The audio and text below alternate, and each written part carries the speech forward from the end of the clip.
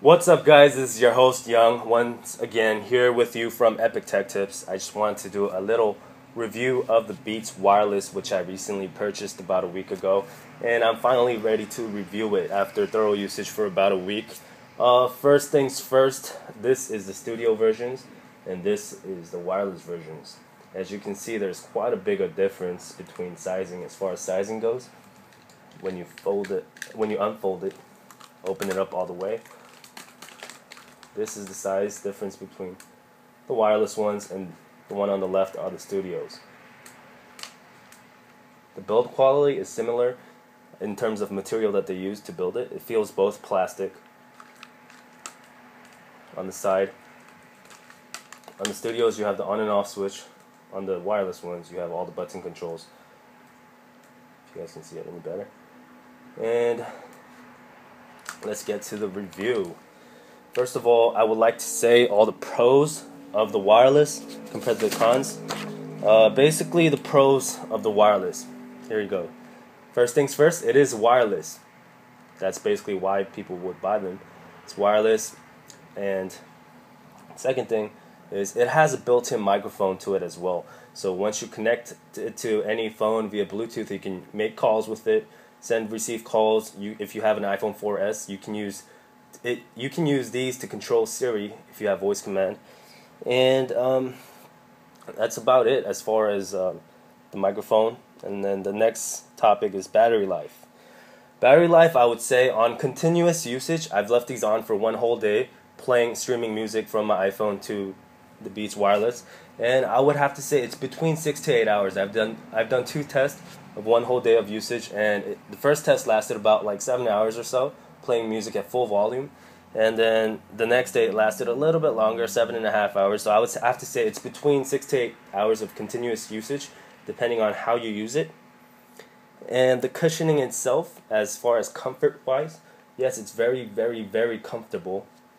It's uh, similar to studios. I don't know if, if, if you've ever tried on the studios before, it fits exactly the same. I wouldn't say the same, however, it does feel as comfortable as the studios.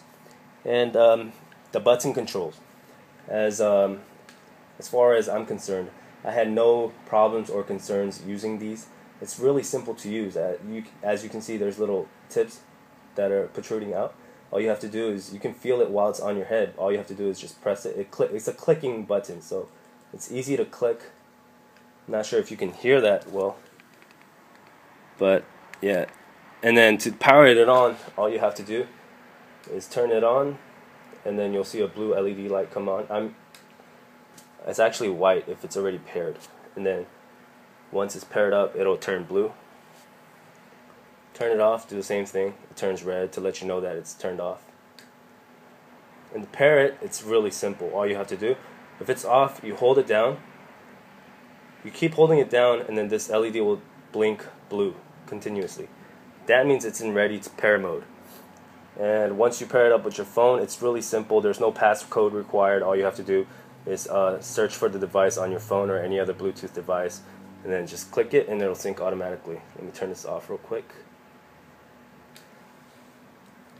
And the range of connectivity as far as the Bluetooth goes, it's about, I would have to say, 30 feet. I haven't gone past 30 feet because usually the phones right in your pocket or inside your house, and I have no reason to go further than 30 feet away from my phone while listening to music.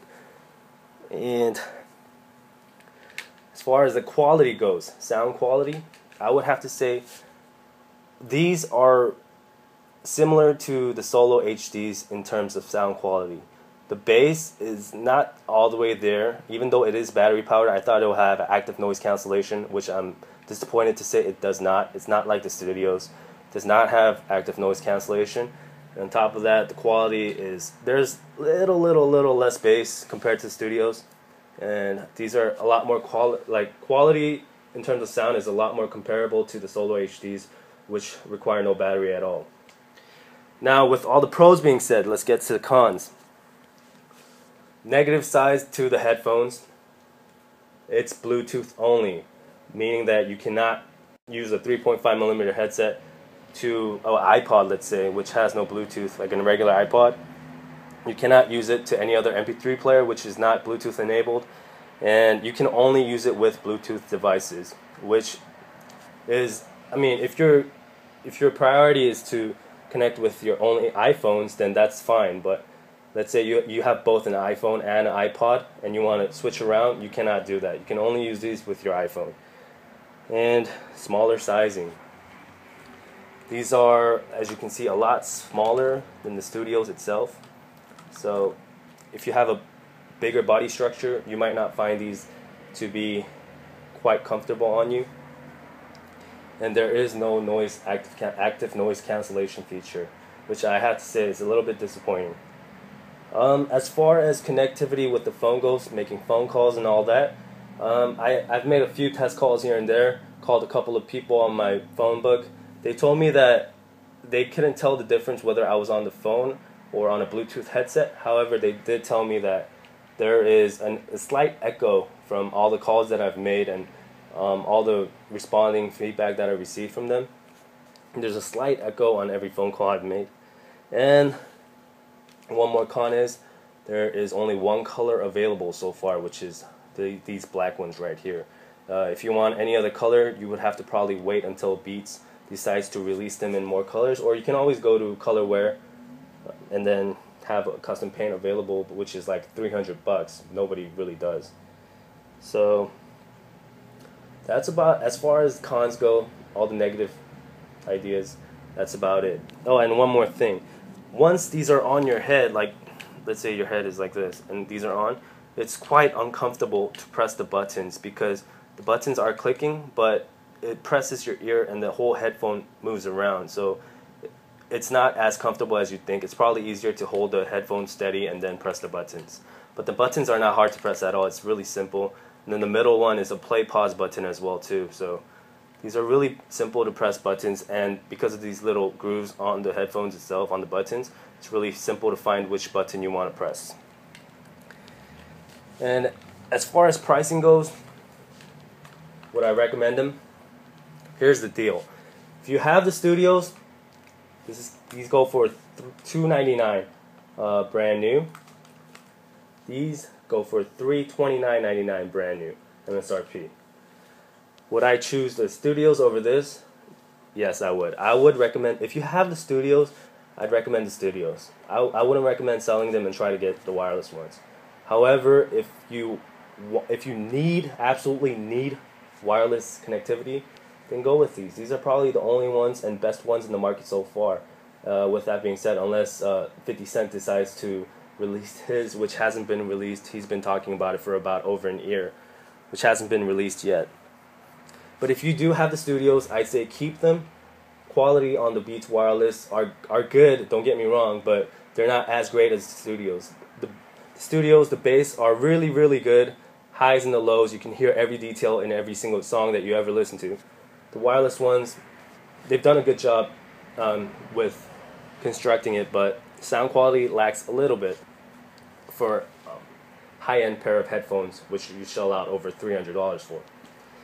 And as far as comparison goes, I honestly I can't say any other company has made a Bluetooth headset which is like considered a high-end brand.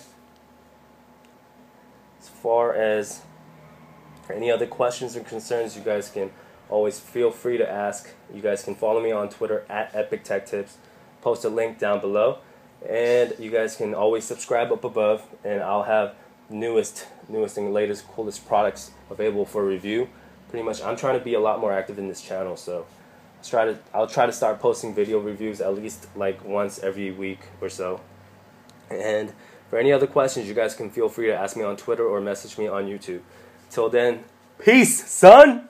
Tell your friends, tell your friends soon enough that I'll be on. If you coming with that beef, it better be filet mignon. Superhero flow, out of space, riding on my comet, man. I vomit on the shit. The rappers on, and man, these haters taking.